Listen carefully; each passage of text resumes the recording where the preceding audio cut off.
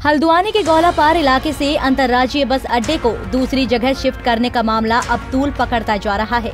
कांग्रेस इसे बीजेपी की सोची समझी साजिश करार दे रही है। तो वहीं बीजेपी का हल्द्वानी वासियों को जल्द ही आईएसबीटी की सौगात देने का भरोसा दे रही है। गौलापार में बनने वाले आईएसबीटी के लिए आठ हेक्टेयर ज़मीन ट्रांसफ़र करने में तकरीबन छह साल का वक्त लग गया है। परिवहन विभाग ने भी अब वन विभाग को ये ज़मीन लौटा दी है। जिससे आईएसबीटी बनाने की उम्मीद फिर खत्म होती दिख रही है। इस पूरी प्रक्रिया में उत्तराखंड के जनता की गाड़ी कमाई के ढाई करोड़ रुपए खर्च कर दिए गए, जबकि आईएसबीटी के शिलान्यास तक करीब 2700 हरे पेड़ों को भी काट दिया गया। जून 2017 में आईएसबीटी की खुदाई के दौरान नर कंकाल मिलने पर ये काम रुकवा दिया गया और आईएसबीटी दूसरी जगह बनाने की बात सरकार ने कही।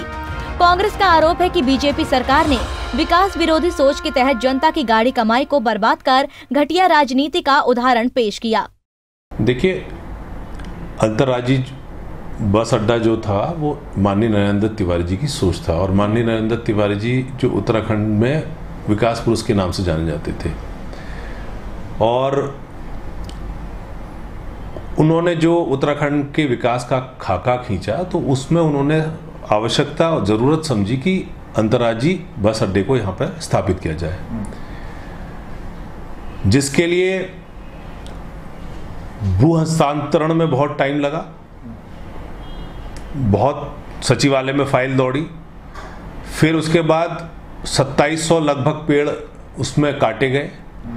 उसके बाद जब वो काम शुरू होने की स्थिति में आया तो बीजेपी सरकार ने एक कुंठित राजनीतिक सोच के तहत उन्होंने अपना परिचय दिया क्योंकि वो विकास की परिभाषा नहीं जानते हैं।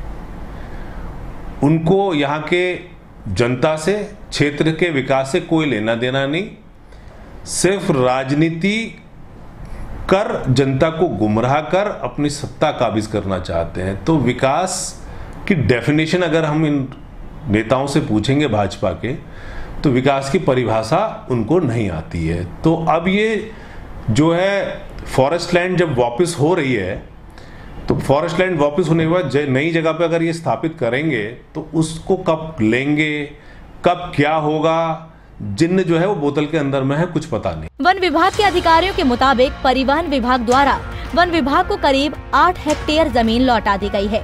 अब सरकार आईएसबीटी के लिए करीब 10 हेक्टेयर ज़मीन की तलाश तराई केंद्रीय वन प्रभाग में कर रही है। गोलापार में, परिवहन विभाग को आठ हेक्टेयर भूमि दी गई थी आईएसबीटी बनाने के लिए। उच्च स्तर से यह निर्णय हुआ कि अब आईएसबीटी को उत्तराखंड ओपन यूनिवर्सिटी के बगल में बनाया जाए। तो उस परिप्रेक्ष्य में परिवहन विभाग ने जो आठ हेक्टेयर भूमि हस्तांतरित हुई थी, वो वन विभाग को वापस कर दी है। भारत सरकार द्वारा यह अपेक्षा की गई थी कि पूर्व में आवंटित भूमि क्या वन विभाग को वापस हो गई है या नहीं। उस क्रम में भूमि वापस हो गई और भारत सरकार को यह सूचित भी कर दिया गया है नई ज़मीन जो है वो 10 हेक्टेयर क्षेत्र है, जो तराई केंद्रीय वन प्रभाग के अंतर्गत है। उसी प्रोजेक्ट में भारत सरकार ने पूछा था नई ज़मीन के आवंटन के परिप्रेक्ष्य में ही। हालाँकि 2022 के विधानसभा चुनावों के लिए राजनीति समीकरण अभी से बनने शुरू हो गए हैं। भले ही आईएसबीटी बने या ना बने, लेकिन आने वाले चुनाव में आईएसबीटी का मुद्दा राजनीतिक दलों द्वारा एक बार फिर जनता को लुभाने के लिए इस्तेमाल किया जाएगा, ये तय है। नैनीताल से तारा जोशी की रिपोर्ट।